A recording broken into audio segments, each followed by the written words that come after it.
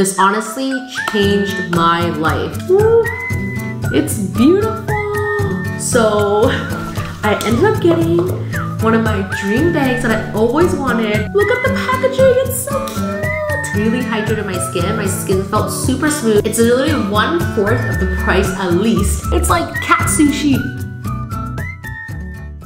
Hi guys, welcome back to my channel. I'm finally back from Japan. I had an amazing, amazing time. We went for Dom's birthday and also my first time in Japan. I posted my story that I was shopping at Japanese department stores and I had a lot of DM asking me to post a haul. So I thought I would share what I got from Japan. So this is gonna be a very, very long video because I got lots of stuff. Without further ado, let's start with skincare. The first thing I got was tons of sheet masks. The Lululun ones had so many different options. They come with seven sheet masks and I believe they were less than $5. I also heard amazing things about these rice sheet masks and I tried it myself in Japan and they really hydrated my skin. My skin felt super smooth, so highly recommend checking it out. Next up, we got the Momopuri line and this was highly, highly recommended. It's an affordable skincare line that's in Japan that's really popular. You get it at most department stores and I really, really wanted to try their Most Barrier Lotion which won tons of awards. It's super, super hydrating. I put it on at night before I put on any other products and it kind of smells like peach which I love. I haven't tried the essence yet but once I do get to it, I'll let you guys know how I like it. Next up, we got the Viral Skin Conditioner. I saw this all over Asian TikTok and I knew I had to give it a try. I love that it dries up in your skin super fast and it feels really, really nice. This is one of my favorite travel makeup wipes. It wipes everything off, even waterproof makeup. You also don't have to wash it off afterwards, which I love, especially on the plane. It's half the price what I paid for in Taiwan, so I had to stock up. Next, we got sunscreen. And when it comes to sunscreens, there's so many different options. There's like a whole aisle filled with sunscreen when I was there. I love the Skin Aqua Gel. This is so good. It dries up super, super fast, has no scent, doesn't leave a white cast. It's SPF 50 and it's a really great first layer under your makeup. This is another really popular brand in Japan department stores for affordable skincare. I got both their serum and their face wash. I've been using their face wash for the past week and it really, really does a good job deep cleaning your skin. The serum has a brightening effect, which I've been using under my eyes, which is really hydrating. And for the price, I highly recommend trying it out. Dom wanted a face wash specializing in blackheads, so I decided to try out the Cleansing Balm Black. I heard really good things about it. He really likes it so far, so I think I'll give it a try sometime this week, and if it works, I'll definitely let you know. The last thing I got are these Suisai face wash. I've never tried them before, but I heard amazing, amazing things when it comes to cleaning your pores and deep cleaning. So I thought these will be really good when I travel or when I want to really deep clean on my face. Next up, we got body care. The first thing I want to share are these Johnson Skin Lotion, and they smell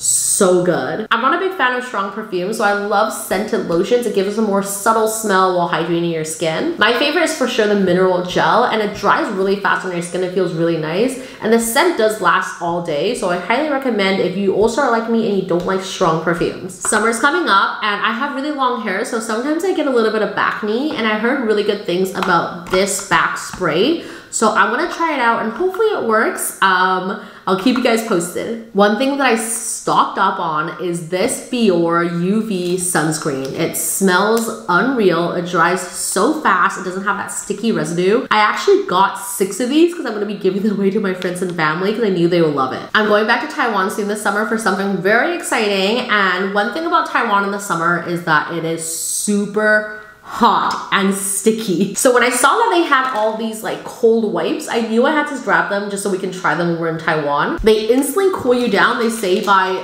three degrees and it lasts for around one to six hours. We walked so, so, so much when we we're in Japan. I think I did 25,000 to 30,000 steps every single day. So my feet were dying. And then when I saw these feet masks and these calf masks at the department store, I knew how to try them out and they honestly saved me in Japan. So I had to stock up. They have different options when it comes to their calves. There's the cooling one and there's also the heated one. I love the cooling one because it's kind of hot, but I do think the heated ones will be really, really good in the winter. I also got the steaming ones for your shoulders and your back, and I'm gonna be putting these on actually during my period because I think it will really help with the cramps. Unfortunately, we missed Sakura season while we were there just by a week. However, it was still allergy seasons and Dom was sneezing like crazy. We tried out different allergy medicines, which nothing really worked except for this nose spray. So this is only $15 and you spray it in your nose and it really helps with the allergies. He says within 10 minutes you were instantly refreshed. You only had to spray it one to two times a day and it was perfect. I also got a few things for the mouth. So this is a really popular mouthwash. I've tried it in Canada before. It was really pricey and I really did like it. And when I was in Japan, it was half the price. So I got the honey flavor, which apparently is really, really good for cavity prevention. Also got a mouth spray that's super small that you can leave in your bag and it's a quick spray. So this is also another thing. These are two go mouthwash. They're individually packed. So I thought this would really be good for traveling or when I'm on the plane. And this is super, super, super popular in Asia. I've never tried it out, but apparently if you put it on your canker sore, it heals overnight. So I thought I'll bring one back to try and if it works, I'll definitely stock up next time I'm back. So I wear contacts every single day and I am actually negative 890. So Technically, without my contacts, I can't see and my eyes do get dry sometimes. So I highly recommend trying out this eye drop. It instantly wakes you up. It actually has like a minty scent. So wake you right up and also get rid of the redness in your eye. It's actually really popular in asia. I saw the lady in front of me. She grabbed 20 to bring back. Next up we got hair care. And i am really sad because we didn't have enough space in our luggage or else i would bring back so much more hair care. But the first thing is actually their hair oil. First of all look at the packaging. It's so cute. And it also smells amazing. It doesn't leave your hair too oily. My favorite, favorite hair product of all time is this dry shampoo. This honestly changed my life. My friend gave it to me right before I went on my trip in Japan and I was shook how well it works. Normally I don't like dry shampoo because I find that they don't really work on my hair or I feel like after a few hours it flattens down. But first of all, this is really small so it's travel friendly. You just have to rub it a little bit on your hair and it gives you instant volume. So I left it in my bag. Every time I felt like my hair was a little bit oily, I would touch it up. But it does last around like five to six hours, which I love and it doesn't clog up your pores. So highly recommend grabbing this out of everything you see today. You'll love this. So the first thing I saw when I walked in the department store was this hair mask, which I actually use every single day and I pay around 20 to $25 in Canada. And it was only $6 for two. I think that's probably what sparked me to buy all these things because then that's when I realized the huge price difference. Next, we got stuff that I was using the whole time while I was traveling Japan. And next time I go to Japan, I think I'm not gonna bring any more makeup and skincare with me because they have so many options and they're so affordable that I didn't really even use my own stuff. First off is this refresher spray. So once again, like I said, I don't like strong perfume. This one actually matches really well with the hair as well as a lotion. So I grabbed it. One spray lasts you all day. It gives you like fresh after shampoo smell, which I highly love. This I believe was only $3. I also got deodorant and I really liked it because it was scent free and it worked really well. But I will say if you are someone who sweats a lot, you may rather use like men deodorant. I think will work better than these ones, but I love that how small it is and how compact it is, which is really travel friendly. I'm also obsessed with this Jelly SPF sunscreen. Once again, it's really travel friendly. It literally smells like pineapple candy. And I just use it throughout the day to kind of like touch up on my hands or any skin that's showing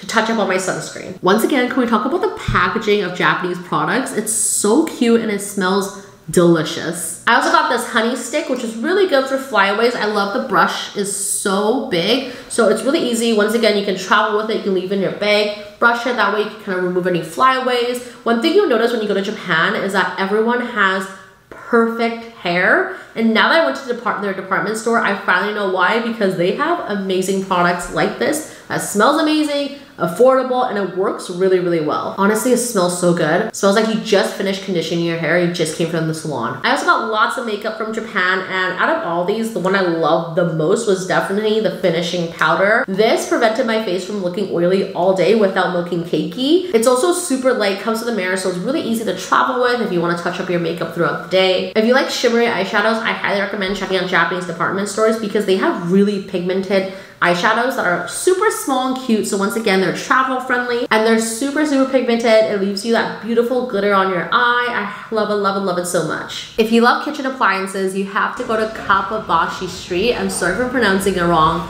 but that street is dedicated basically to B2B kitchen supplies and there's so many different things that you can buy there. So first off, I got myself a really good supply of bento boxes. I love Japanese bento boxes and now that the weather is getting better in Vancouver, I'm going to be doing a lot more picnics and bento box series on my channel, so stay tuned for that. There were so many different options and when it comes to Japanese bento boxes, the price difference between Canada and Japan is insane. It's literally one fourth of the price at least, and the quality was so good. You have so many different options. I think I went to in total 20 stores and you can really shop around and see what you like. So the first bento I got is this big one and this one I do love because it's really easy to clean and I think this will be really perfect when we go traveling for picnics. Can fit lots of stuff. The next one is a smaller version. It's more of a square. I love that it's elevated too so I love the look of it. Same thing with the inside materials. Really, really easy to clean. And I knew I wanted wooden bento boxes and I couldn't decide which ones I wanted. I wanted something that was definitely a little bit more sturdier, a little bit better quality and it has a nice coating so you can actually wash it and use it.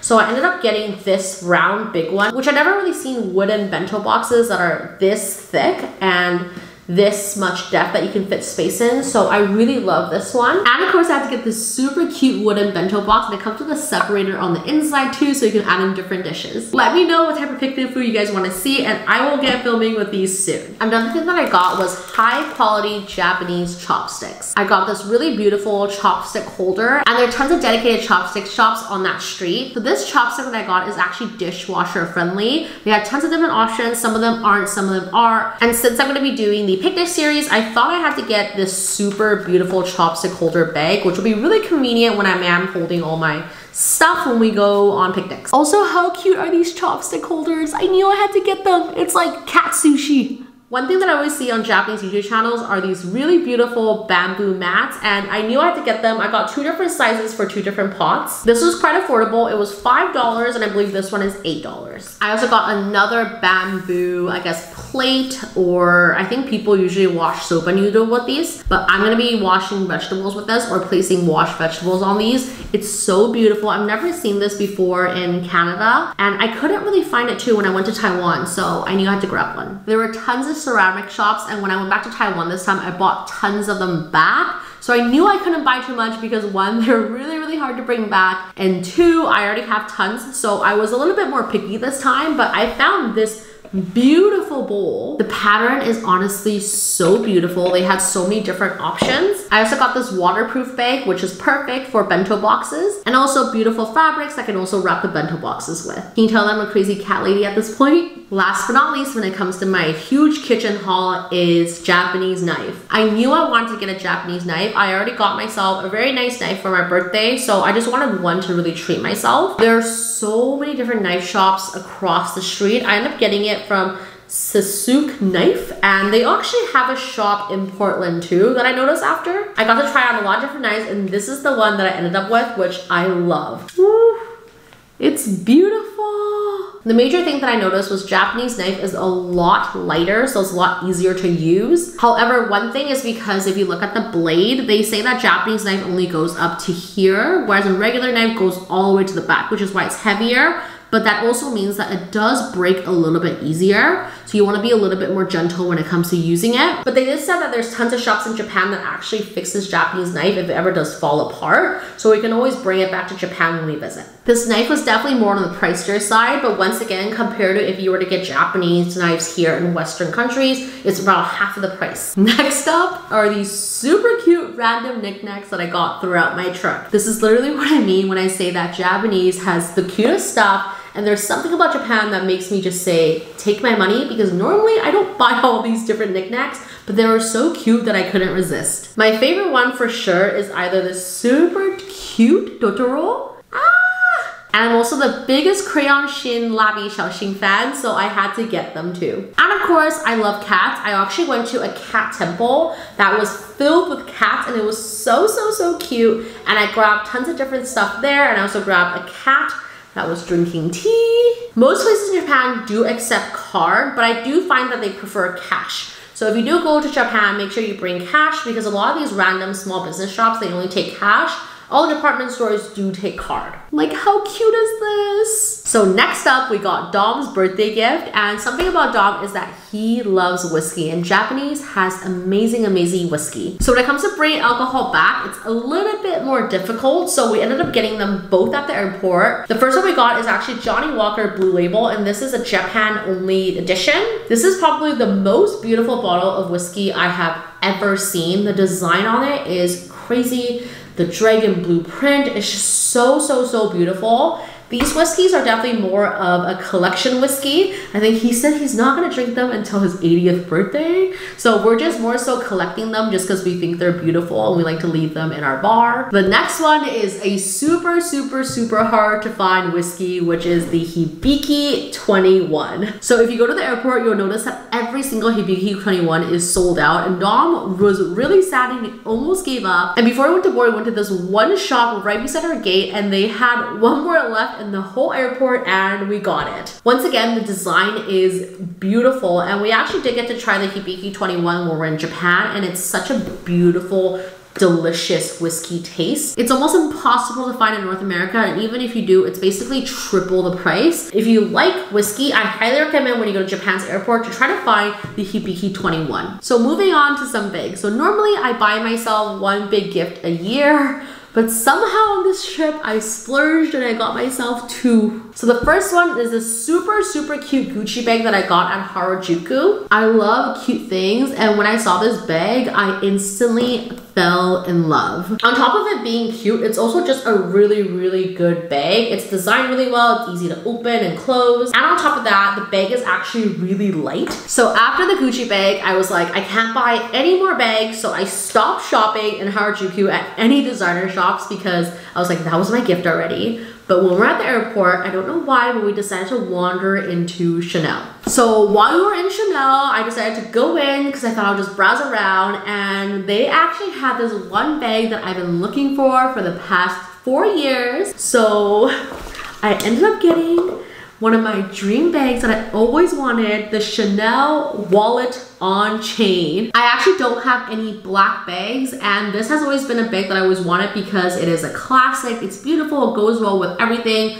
I have a lot of gold jewelry too, so I thought the gold will really well match well with all my jewelry and just my clothes. The bag itself is beautiful and because it is duty free, you also save on taxes too. But I instantly fell in love. I tried it on. There's so many different options you can wear. You can wear it crossbody, you can make it shorter just on your shoulder.